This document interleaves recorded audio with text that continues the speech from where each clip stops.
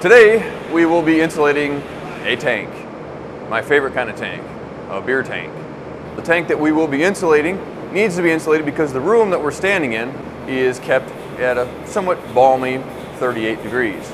And the liquid that's kept in the tank is still undergoing part of the fermentation process, so it needs to be kept just a little bit warmer than that.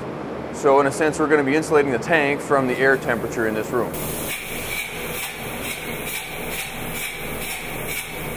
What we will be doing is applying a layer of closed cell polyurethane spray foam insulation. And this will help maintain the temperature in the tank that we want without affecting the temperature of the air in the room that we're in, or vice versa. The general procedure for this tank is to prep the tank, make sure that the surface is clean and free of loose debris, just like you would with any other coating that you'd be putting on, whether it be paint or some other type of performance coating and then we will be spray applying the spray foam insulation to the outside of the tank.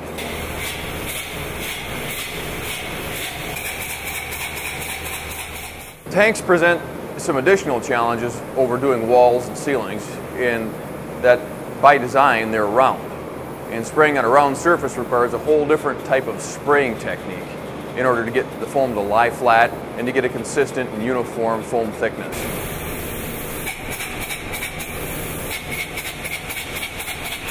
We do need to use a special type of spray foam insulation that is going to not only bond well to a metal surface, but bond well to a metal surface that's cold.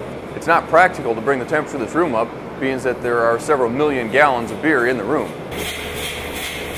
The cost of the spray foam insulation, here where we're going to be spraying it on the tank, or as you've seen in some other work we've done on the walls and other parts of the brewery, will easily be overcome by the energy savings. The spray foam insulation is a fantastic way for businesses and industries to save a lot of money on their energy bills as the energy costs continue to rise. The spray foam insulation is a one-time investment that will save energy for the lifetime of the building.